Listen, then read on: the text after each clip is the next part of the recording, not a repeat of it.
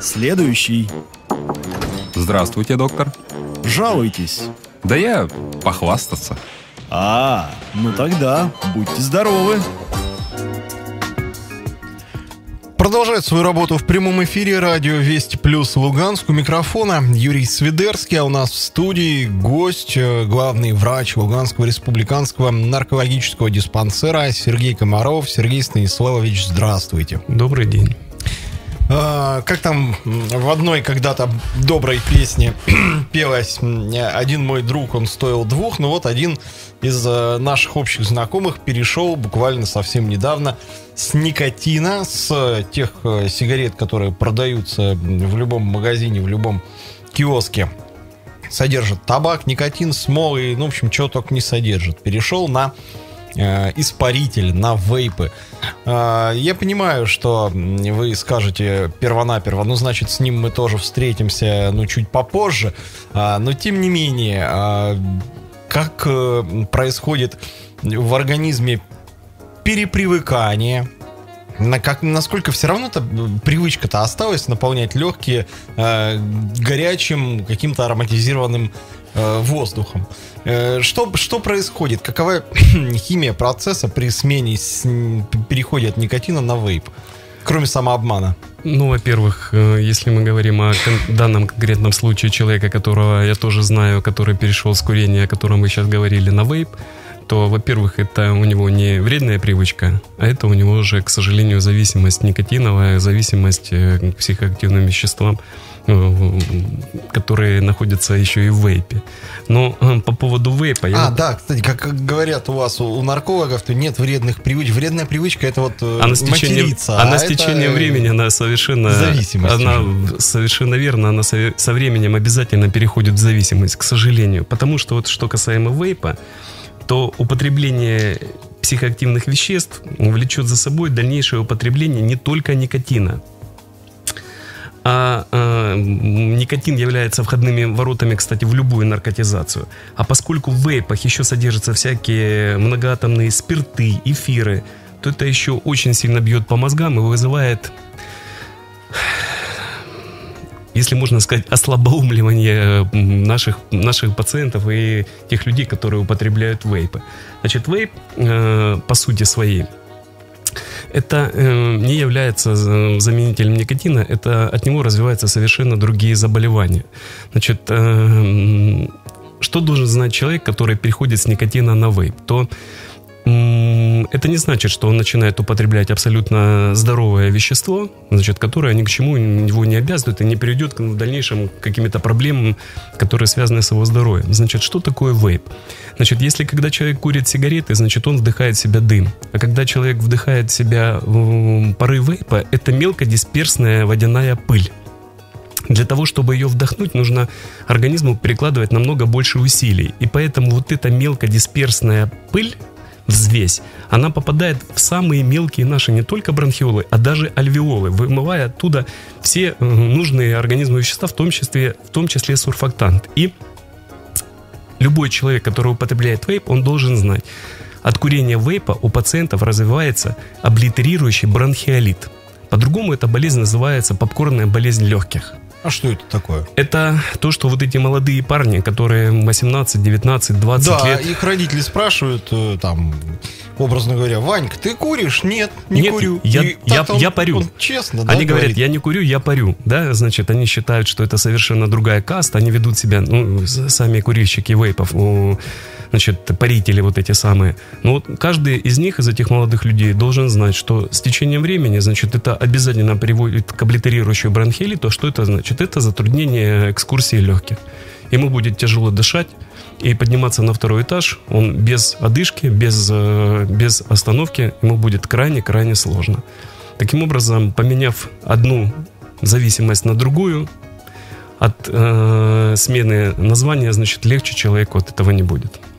А, вот смотрите, из чего состоит вейп. Я нашел, покопался, как человек не курящий, мне для я- этого я- пришлось залезть в интернет. Я могу вам рассказать, из чего состоит да, вейп. Значит, наг- нагревательный прибор это чайник. Я когда вижу человека с вейпом, я всегда говорю, это человек с чайником. То есть есть нагревательный прибор, который разогревает вот эту жидкость, которая находится. Есть э, элемент света, элемент, который, э, значит, некоторых есть, некоторых э, якобы обманывает эти вещества. И есть вот эта ампула, вот этот контейнер с, с- с этой жидкостью, которая, которая э, является вот этим самым паром, значит, из которого образуется пар. Жидкость это состоит, значит, там глицерин, ароматизатор, в некоторых есть никотин, дистиллированная вода, красители, значит, и вот эти все вещи. По сути, по своей, вот эта жидкость, которая находится в вейпах, она, если по отдельности брать, то все эти элементы, они являются нейтральными. Но даже банальный глицерин при термической, при термической обработке он превращается в яд, совершенно верно. Из этих э, об- образуются формальдегиды, образуются другие химические соединения, которые канцерогенные, которые очень плохо влияют на организм. Более того, никто никогда не контролирует вот эти жидкости, которые продают китайцы. Значит, какую они туда воду заливают, какие они туда на- заливают красители, какое туда употребляют вещества. Никто это, ВОЗ это не контролирует. И поэтому, когда человек приобретает себе вот этот контейнер с жидкостью, ну, только производитель знает, что он туда добавил. А вот еще сейчас появились э, некоторые люди используют и говорят, что они курят некий IQOS, и, дескать, это уже вообще э, безопаснее некуда, это, это уже даже не вейп. Что это такое? Столкнулись уже врачи, наркологи с этим? Это все, это все разновидности вот этих электронных сигарет. Все это разновидности, то есть рынок, э, который вот начали выпускать э, сигареты, значит, начали, вы помните, в начале прошлого века рассказывали о том, что курение это чуть ли не панацея от всех болезней. Потом в середине прошлого века определили, что табак, никотин является канцерогеном, он вызывает раковые заболевания. И вот этот э, ковбой Мальборо, который все это э, рекламировал, значит, на всех э, во всех рекламах погиб от рака легких, которые, значит, начали с этим белым бороться. Придумали электронную сигарету. С электронной сигареты доказали неэффективность, придумали вейп, потом IQOS. Еще что будет? Кальян. Если у нас кальян появился совершенно недавно, то в арабском мире давным-давно знают, что это вредное э, времяпрепровождение, оно вызывает зависимость. И э, я надеюсь, в МКБ-11, и якобы такие сведения есть, в МКБ-11 добавится новая болезнь. Болезнь называется бейсинг. Бейсинг – это зависимость от кальяна вызывает те же самые проблемы с легкими, сердечно-сосудистой системой, конц- заболевания ротовой полости, значит, рак и так далее и тому подобное. Облитерирующий эндартериит, проблемы с нижними конечностями. То есть это все ведет и э, у нас кальяну 10-50 лет, а в арабском мире кальяну 2000 лет. И они знают все негативные последствия употребления кальяна. Э, В России сейчас во многих сетях крупных э, федеральных э, супермаркетов вообще блоки сигарет стоят запакованные в простую красную бумагу. То есть только подойдя, подержав, повертев это в руках, можешь увидеть, что там простой белый э, информационный э, ценничек, наклеечка, где написано, что это табачная продукция, сигареты, марка и разновидность, да, модель. А такого, что это витрина, как на выставке, как в музее, такого э, уже нет. Э, в магазинах шаговой доступности стараются делать, а законодатели обязывают, чтобы вот эти вот м, Прятали все. Э, Над кассой эта зона, эти, эти корабли огромные, дирижабли с сигаретами, они были постоянно закрыты. Открывались только самим клиентам, только для того, чтобы он выбрал себе пачку сигарет. Ценовая политика ввиду акциза тоже э, стимулирует скорее эм, 20 раз подумать, прежде чем начинать, либо покупать. Почему э, в нашем обществе, да, там с кальянами еще не борются, но э, в отличие от приведенных вами примеров, почему то, что во всем мире в цивилизованном уже культивируется как э, такой, м, знаете, как человека э, умышленно делают изгоем. Ему отводят место для курения. Ты хочешь курить? Пожалуйста, вот там вот в уголке где-то за сарайчиком, вот там вот постой и покури. Со всеми не надо. Э, Если ты хочешь э, там выпить, э, сиди дома и пей, не выпивший по улице не ходи, не тем более с открытой бутылкой. А, И если опять же, хочется покурить кальян, то ищи специальное заведение, потому что не во всех, э, извините, это можно, потому что э, из-за одного столика будут э, дыметь, а будут дышать все остальные. Почему, как вы считаете, и когда мы к этому придем? Имеют ли на это влияние э, медики для того, чтобы как-то законодательно выступить с инициативой, сдвинуть это, в конце концов, для того, чтобы и в нашем постсоветском обществе также выработать вот это вот э, стратегию, тут поведение, модель э, нетерпимости и ну, неодобрения, как минимум, к курящим на улице, курящим в кафе, пьяным на улице. Потому что даже если пойти, это для абсолютно любой территории характерно, в любой детский парк э, в выходной, там обязательно будут э, дети на качелях и папы, мамы с сигаретами и с бутылками, банками различной крепости алкоголя. С моей То личной то, точки то, зрения. что в России уже исчезло, как в принципе, как Ну, это неправда. явление. Ничего ну, там ну, не исчезло. Да полностью. так, потому что, э, Юрий, эм, мы на эту тему, я не знаю, с вами разговаривали или нет, но обратите внимание, никогда никто еще за все время существования человеческой цивилизации не мог с этим справиться. Никто и никогда. Ни один император, ни один фараон, ни один царь, ни один король, ни один генеральный секретарь, если вы помните сухие законы и все, запреты эти все, никогда они не будут влиять. Ну вот людям запрещали курить в, в общественных местах. Это кого-то останавливает. Они курят, они отходят в сторону, они не боятся. Людям запрещают сходить с открытыми бутылками пива. Что, не ходят они? Ходят. И все это дело продолжается. Поэтому здесь борьба должна быть э, с этим делом, она должна быть исключительно комплексная. Не только врачи должны с этим бороться. Мы неустанно об этом говорим, и об этом говорили и советские врачи.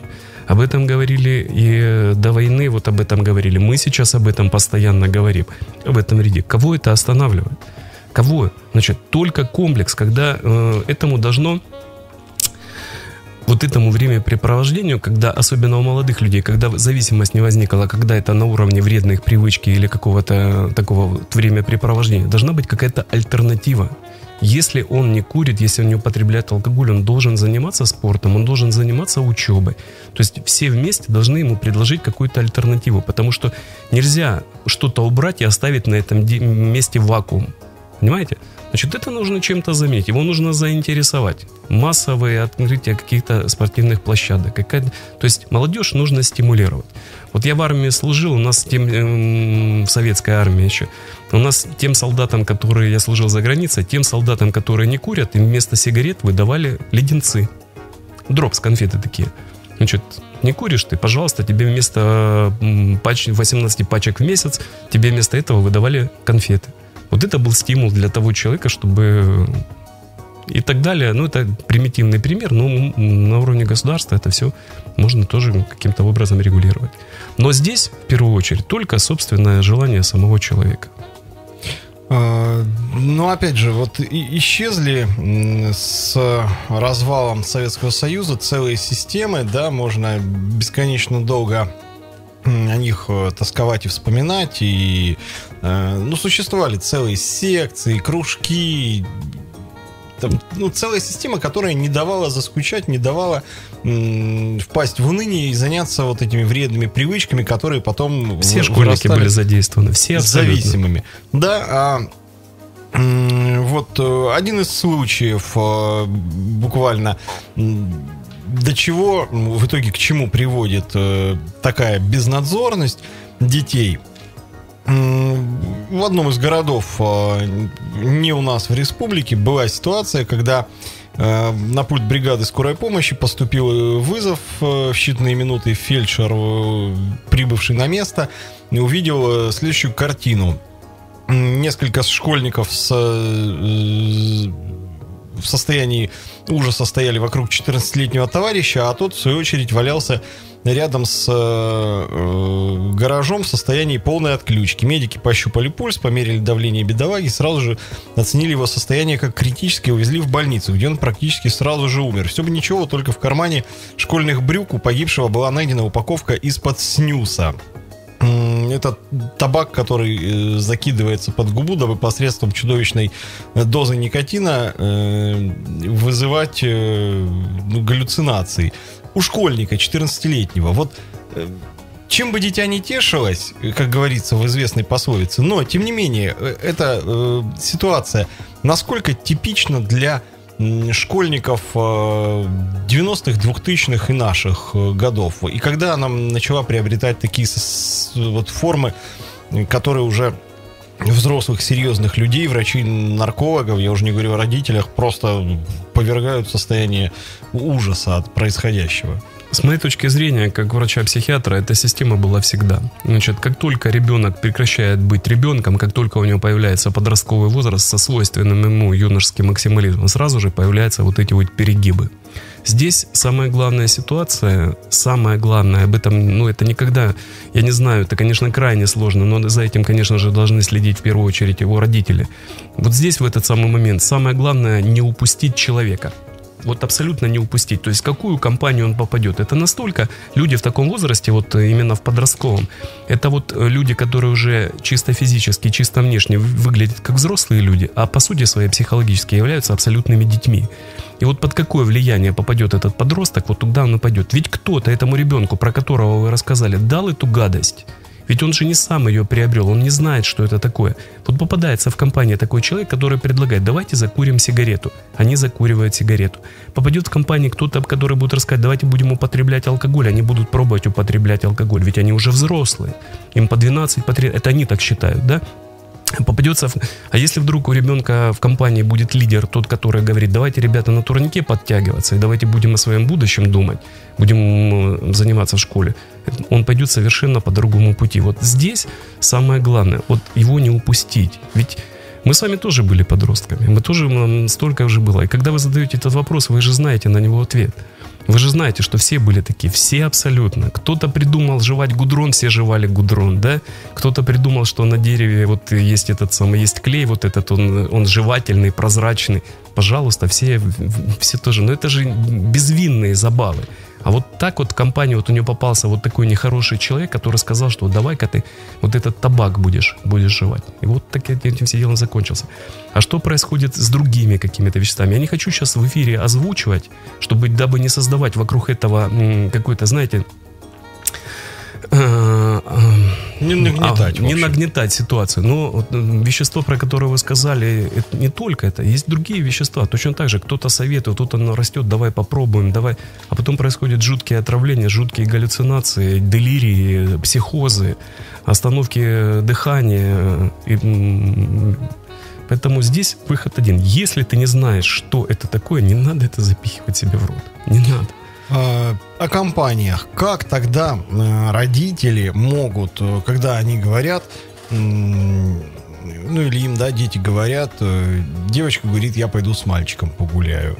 И не знают, в какую она компанию идет. Когда мальчик говорит, я пойду с друзьями погуляю, и они тоже не знают, они могут, как, как зовут, скажут, как зовут, телефон оставь, да, я позвоню. Оставит телефон, вообще угу. не вопрос. Да. Но даже если попросишь показать, э, пусть друг зайдет или подруга, да, мы посмотрим на него или на нее. А, возможно ли по каким-то признакам на вот такой вот стадии за такое короткое время хотя бы заподозрить, э, либо не заподозрить, а подтвердить, там, вот, о, хороший дев... мальчик или хорошая девочка. Или э, определить, что, ну, что-то как-то вот лучше не отпускать, наверное, с ним или с ней. В таком молодом возрасте, даже если они употребляют какие-то психоактивные вещества, каких-то клинических и чисто визуальных форм проявлений еще может быть не видно. Вот не видно. То есть они еще независимы, они просто это употребляют на уровне вот, вот ну, вот дозволенности, да, вот я вот такой особенный, значит, все остальные еще пока малолетки, а я вот это дело употребляю. Но зависимости еще у него быть не может. Поэтому в любом случае, если у, у детей появляется какая-то компания, то всегда, э, ну, конечно, всегда есть вариант того, что да, там в этой компании может оказаться кто-то такой, что может сбить его с пути истину. Но для этой цели я немножечко дальше пойду. Вы знаете, есть такая русская народная пословица, что воспитывать детей нужно, когда они лежат поперек лавки, а не вдоль лавки.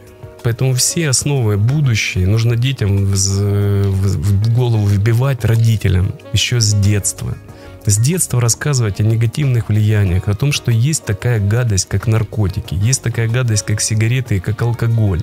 Вот он есть, вот его употребляют. С определенного возраста он становится легальным, с 21-летнего возраста табак и никотин. Но тебе это лучше не употреблять, а употреблять, если ты вдруг все-таки хочешь, стань сначала взрослым. И все это нужно подготовку вести с самых-самых с молодых ногтей. Потому что если этим не заниматься, а когда вот он будет уже вот такой взрослый, вы же прекрасно понимаете, что э, ну ты его уже не разубедишь в этом. Просто-напросто. Если у него есть к этому как, какие-то уже какое-то влечение, я вам говорю, юношеский максимализм, все хочется попробовать. Они считают, что здоровье безграничное, они считают, что их возможности просто безграничные, необыкновенные. Значит, и э, ну что со мной будет, если я там один раз попробую? А может быть беда. А по своему ребенку как э, распознать и как можно раньше, что он попал в дурную компанию? Вот ну, как психиатр по поведению, может, какие-то советы Ну, дурная дадите? компания, мы сейчас имеем в виду компания, которая употребляет психоактивные вещества. Да, в любом да? виде. Значит, есть определенные... Вы своего ребенка, я в этом просто уверен, вы своего ребенка знаете с самого рождения. Вы своего ребенка знаете каждую его повадку, каждую каждый его жест, каждое его мимическое состояние. И если вдруг в ребенке происходит, в вашем ребенке происходит что-то такое, что вас настораживает, это является поводом того, чтобы, чтобы задуматься все абсолютно умные люди, все прекрасно понимают, если что-то не так с зрачками, значит, соответственно, что-то с человеком происходит. Если что-то не так с кожными покровами, значит, что-то с ним происходит. Если от него исходит какой-то непонятный запах, значит, что-то с ним происходит. Если у него желтые, грязные какие-то пальцы, значит, с ним что-то происходит. Если у него в кармане вы находите какие-то э, серебристые вот эти э, штуки, если вы находите шприцы у человека в кармане, если вы находите разобранные, разрезанные какие-то бутылочки, находите какие-то наперстки продырявленные и так далее, это должно вас насторожить. Если ваш ребенок, который был раньше активный, стал абсолютно пассивным человеком или наоборот, он ходит активно, ходит, э, проявляет себя совершенно по-другому. За, задайте себе вопрос, что с ним происходит. Отдельно это ни о чем не говорит. Может быть, там с кожными покровами, может, он загорел или обгорел. Глаза, может, ему атропин туда закапали. Мало ли что произойти. Но если это в комплексе, пожалуйста, подойдите, обратитесь к специалисту. К нам обращаются родители, обращаются. Родители, которые заботятся о своих детях. Они приходят к нам, постоянно приходят, поверьте. С родителями, с детьми? С детьми обязательно. Обязательно с детьми. И мы вместе общаемся. Я говорю, секретов ни у кого нету. И мы вместе с ними работаем. Я этим занимаюсь. Они приходят ко мне, мы работаем это все дело. И пытаемся все это дело исправлять. Одиножды раз попробовавший человек наркотики наркотики не является наркоманом, понимаете, он просто молодой, оступившийся человек. И если это семья, они собрались в кулак, все это дело сделали, и человеку оказали, у него будет счастливое, абсолютно нормальное будущее. В подростковом возрасте пресечь э, эту зависимость, э, вывести ее обратно в вредную привычку и вообще нивелировать ее можно? В отличие от человека, употребля... употреблятеля со стажем. Можно всегда это все дело сделать, но все это носит характер только лишь наших предположений. Можно, а можно и не получиться. Поэтому, чтобы не искушать судьбу и чтобы не думать о том, смогу ли я от этого избавиться, лучше это не пробовать никогда. Но обращаться нужно в любом случае. Если у вас есть сомнения по поводу себя или своих близких, вам нужно от этого избавиться. Мы будем все сделаем для того, чтобы вам помочь. Обращайтесь к нам, мы будем заниматься вашим здоровьем. Я благодарю вас за информацию, желаю успехов в работе. Напомню, что у нас в гостях был главный врач Луганского республиканского наркологического диспансера Сергей Комаров. Приходите к нам еще, а вы, друзья, оставайтесь на нашей частоте. Следующий. Здравствуйте, доктор. Жалуйтесь. Да я похвастаться. А, ну тогда будьте здоровы.